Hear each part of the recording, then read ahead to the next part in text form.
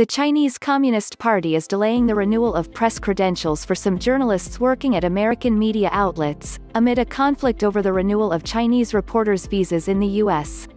Wall Street Journal reporter Jeremy Page, who is British, as well as American CNN reporter David Culver and two non-American Bloomberg journalists, received letters allowing them to continue working in China with their expired press credentials for about two months, each of the outlets reported. Visas issued to journalists in China typically last for one year. In total, at least five reporters at four U.S. news organizations were affected, and China's foreign ministry indicated that the letters issued to journalists could be revoked at any time, according to the Foreign Correspondents Club of China.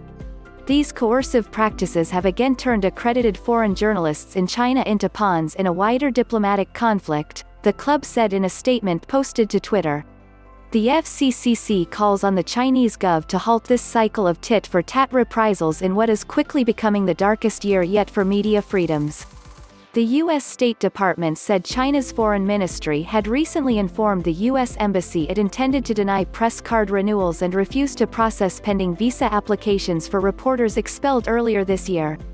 The United States is of course troubled that these proposed actions will worsen the reporting environment in China, which is already suffering a dearth of open and independent media reporting, spokeswoman Morgan Ortagus said in a statement.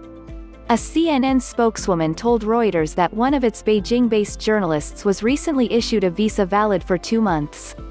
Our presence on the ground in China remains unchanged, and we are continuing to work with local authorities to ensure that continues, she said.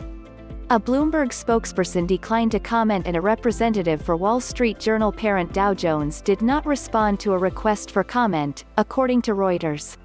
Meanwhile, Chinese journalists in the U.S. are waiting for their lapsed work visas to be renewed.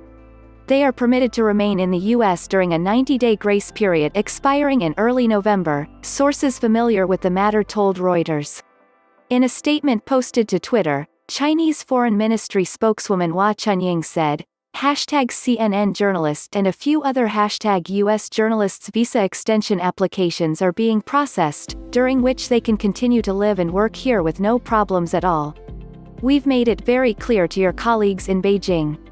We would be glad to continue our excellent cooperation with the hashtag US journalists here if the Chinese journalists are treated fairly in the US, she continued.